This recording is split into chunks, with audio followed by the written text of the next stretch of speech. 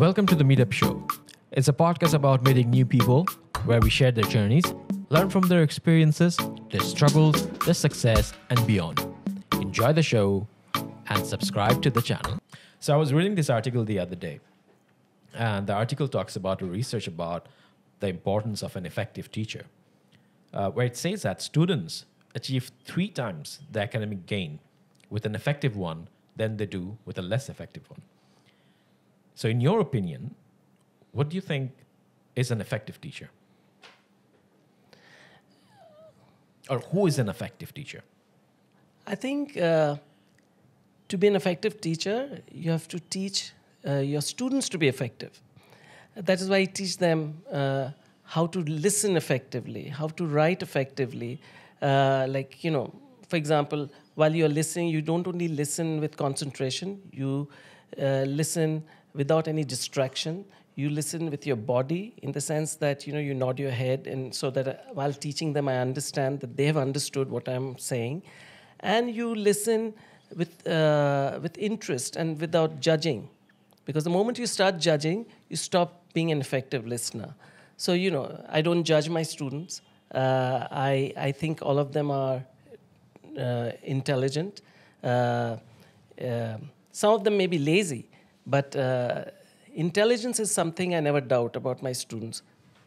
Uh, aptly stated. Uh, uh, today, uh, we have Mr. Khozaima Ziauddin in the studio with us. Mr. Khozaima Ziauddin is a brilliant educator. He's been in the teaching profession for over a decade and is currently a faculty in ULAB, that is U- University uh, of Liberal Arts, Bangladesh. Uh, but apart from teaching, Mr. Ziauddin is also a professional trainer and provides communication training to educational institutions as well as NGOs in the country. Kozambha, a very warm welcome to the podcast. Thank you so much. Thank you for having me. Thank it, the pleasure is mine, and well, I think we'll go straight to the reason why. Why do you? Why did you come to teaching? As far as I know, the, the teaching profession to you came quite late in your career. So True. why why why teaching? I think uh, it's because of some of the amazing teachers that I've had.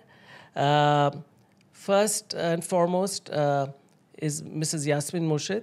She is the founder of Scholastica. Yeah, yeah. And from Mrs. Murshid, I learned the love for the English language. Even today, I remember her teaching me uh, uh, Keats and the way she used to recite Ode to the Grecian Urn is something I still remember today. Uh, it was it was amazing, and I, when I just look at her, I think that okay, so she's someone I want to ape or I want to be like. Uh, but then, uh, like I said, there were other teachers. Like when I went to Shimer College at U- in USA, I met Dr. Frank Kurtz, who used to be my social sciences professor. And he helped me improve my writing skills. It took him two and a half years to do that, but he never gave up on me. So the two things he taught, one is that, you know, there's hope and you should not give up on your students. And uh, third is Malika Sarwar. Um, she taught me at North South University, and she taught me to be meticulous, to be a perfectionist, right? And last but not the least is Professor Imran Rahman. Um, he's the dean of the uh, School of Business at ULAB, and he's the one who had the foresight, uh, and he saw something in me which I never did. So it takes a teacher to uh, to uh, see something different in, in in someone. So I think uh, because of him, I'm at ULAB, and uh, today I think I'm creative. I um, I um, I see is things in my students which they can't see is because of Imran. Uh, so you know, so these are the four people, I guess, you know, who have uh, kind of uh, uh, inspired me to become the teacher I am today. Beautiful. Uh, wouldn't uh, would you agree uh, with me that a teacher has the power to inspire and change the lives of the student? Oh, yes. Uh, there's one thing one of my professors had told me that you're not a teacher until you touch your students' life. Uh, so, you know, I, I, I, I uh, not only teach them, I also am their friend. I'm also uh, their confidant. I'm also uh, someone who emotionally supports them. Uh, even after class, even with these online classes right now, you know, they still uh, talk to me. Sometimes uh, uh, the class gets over at 9.15, but we are still chatting with each other till 1 in the morning. Yeah, I know the feeling. Yeah. So, you know, so uh, like I said, that, that is why I think one of the reasons is uh, uh, even when they are, when, when my classes are uh, interactive classes, I don't give lectures. So uh, that's why I think if you have that kind of a relationship with your student, uh, they don't feel uh, uh, that they are with a professor or a faculty member. They think of you as a friend, and they open and they they discuss anything uh, that uh, you know. They're not. Uh, they don't have uh, apprehensions. Um, I think this, uh, the reason I asked you this question was this brings me uh, to the next point of discussion.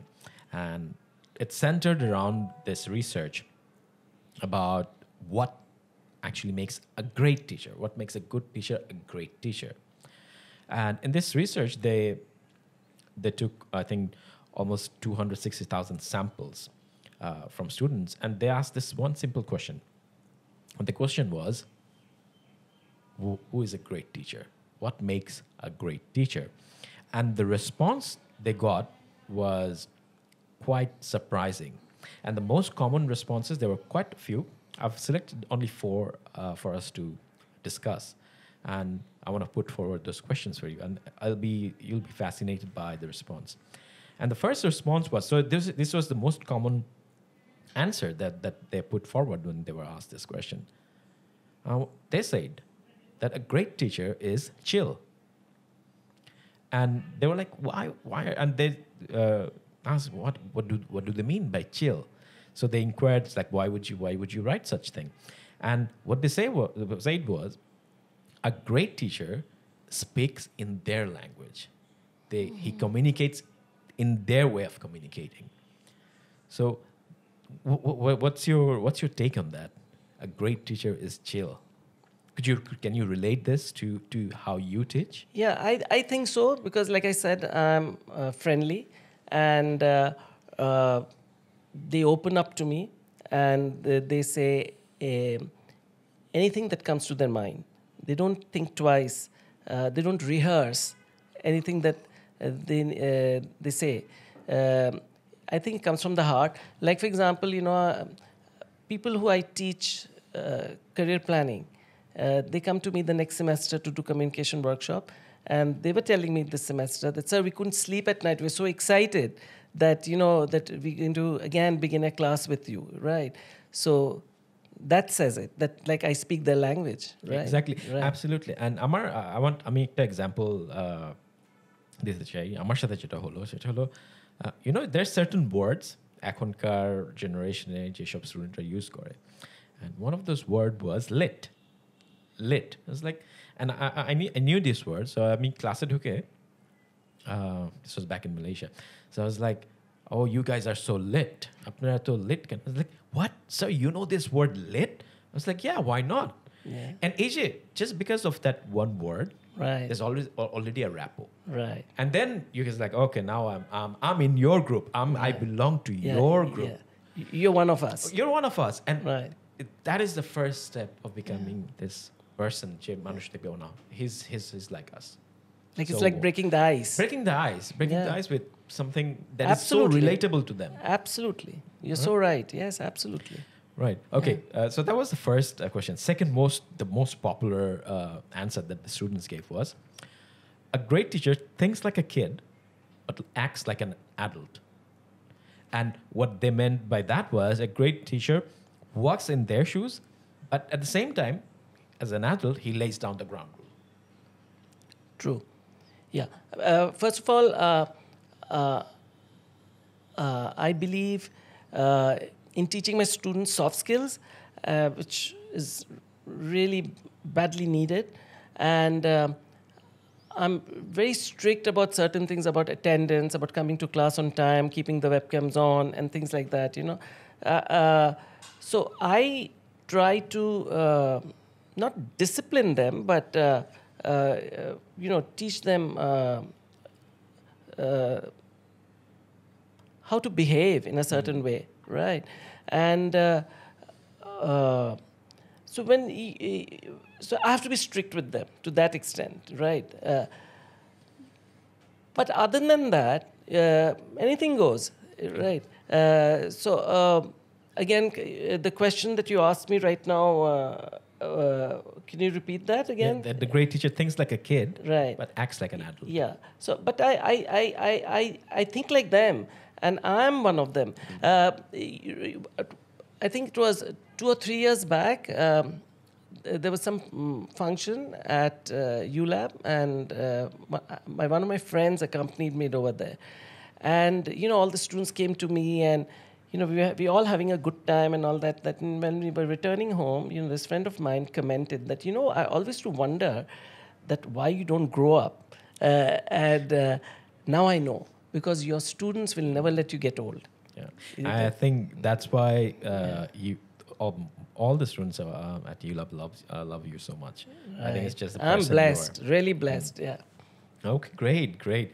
Uh, third question, or the third, sorry, the third answer that the students gave out was a great teacher discovers learning together.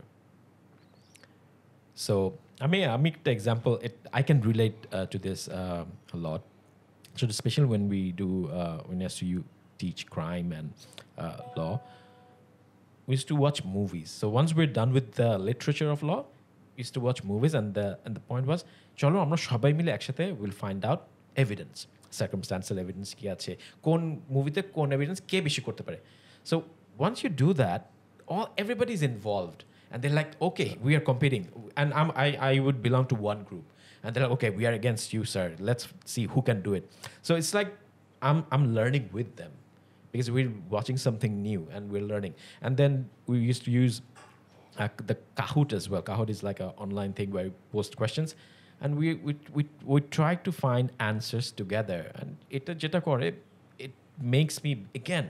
It's all about creating this rapport. যত বেশি rapport, যত বেশি connected. I think that uh, the answers are, as you know, quite similar to uh, uh, all the other answers that they gave out. It's creating the trap. A great teacher discovers learning together with their students. True. Uh, in my case, you know, I kind of uh, tell my students at the beginning of each class that you're my teachers, uh, because I think a student can either break or make a teacher. And so far, my students have always made me. Uh, and I learn a lot from them. Uh, yes. Uh, and I think, uh, like, for example, uh, every sem- like I have my own book. I teach from my own book. I've got my own te- textbooks for all the courses that I teach, and I have never stopped upgrading them. And each semester I learn how to make it better is because of my students because I learn with them and I tell them that you're my teachers. So you, you're a constant learner. I'm a in that. constant learner, and and the thing is that they make me better. Uh, I'll tell you, um, when I was training someone, uh, there's a particular student I trained at Speed uh, about 10 years back. Uh, and she took the same course, business English, from me again uh, when she started working for ActionAid, where I uh, tr- uh, train. And she came up to me and told me that, sir, you know what? You're much better than you were 10 years back. And I told her that that's because of my students, because they helped me become better. And I think it's not only experience, it's, uh, it's uh, what they enjoy, because I, I, I believe that uh, sometimes we teach them things which they don't really need. Uh, and we teach them things sometimes uh, uh, which they don't enjoy. Um, uh, so I make sure that when I teach them something, they enjoy that. Uh, because I believe if you don't enjoy education, you're not going to learn That's anything. so essential. Yeah. When it, it- to enjoy Yeah. and to make sure from the teacher's point of view, যে কিভাবে কোর্সটা enjoyable হয় মোর Yeah. দেন যে আমি আসলে Yeah, because so important It is because I, I, I, I think uh, you come to university to get an education, not information, right? Absolutely. And uh, You can get that on Google. Right, you can Google. Uh, sometimes uh, wrong information, but you can still get information.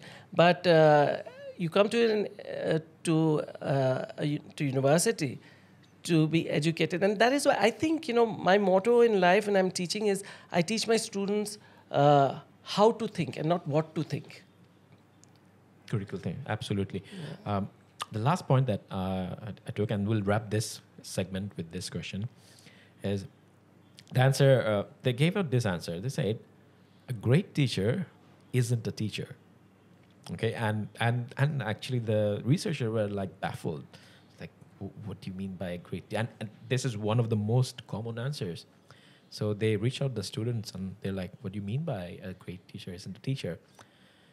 And they're like a great teacher is not just a teacher a great teacher is a life coach oh, what's your what's your opinion on that Absolutely. Uh, because, uh, you, like I said, you know, one of my professors had told me this that, you know, you're not a teacher until you touch your students' lives. This is what he meant that you just, you stop teaching them and, and then you cease to be a teacher. No, you don't because uh, they still need you. Uh, some of my students who have graduated, uh, who have left the university, uh, they still call me for advice. They still call me if they get they are in any kind of trouble. They still come over and uh, see me. So uh, I know I've touched their lives, and I know that they'll continue to do so. And it, it's just uh, it's not that it is a one-way street. It's not as if they are the only ones uh, who need me. Even I need them. Yeah. I, I think the analogy of riding a bike goes well with this, because at a teacher, even though it's a good teacher or maybe a teacher who teaches well, if you ask them to okay, I mean ride by ride bike riding শিখবো they might tell you okay তুমি একটা research করো কিভাবে bike riding করতে হয় how to balance okay go and write an assignment on bike riding but a great teacher is like our parents, could be our mom, could be our dad, our siblings, or could be a friend, যে তোমাকে ধরবে ধরে he'll help you initial পুশটা দিবে যে you can do this and then ছেড়ে দিবে True. maybe তুমি পড়ে যাবা I don't but- know. Uh, yeah. so, someone had said this. Uh, I don't exactly remember who, uh, but this is what comes to my mind right now when you're giving this example. The teaching is love in its truest form, it's a, in its purest Couldn't form. agree more. Right. It is. Absolutely. And uh, like for me, uh, I think it is true because for me, teaching is not a profession, it's a passion. I teach passionately. I, when I'm teaching, I forget everything. Uh, I just love it. I just love teaching. I used to uh, uh, be a businessman. I joined my father's business uh, after I uh, finished my with my education, and um, but there was I enjoyed it to a certain extent, and uh, of course there were there were pros and cons to everything, but uh, I've always wanted to be a teacher. So, uh, like I said, the thanks to these four people in my lives, you know, like uh, Mrs. Yasmin Murshid, Malika Sarwar, Dr. Frank and Imran Rahman, that I am the teacher I am today. And I'm, I'm I'm like, you know, I get very emotional, especially, you know, when I think of them, because I think that 30 years down the road, I hope my students will remember me like I remember these four. Right. Absolutely. And Right. on that beautiful note, we'll wrap up this first segment uh, of the podcast. Thank you very much. Thank you so we'll start the second segment uh, shortly. Okay.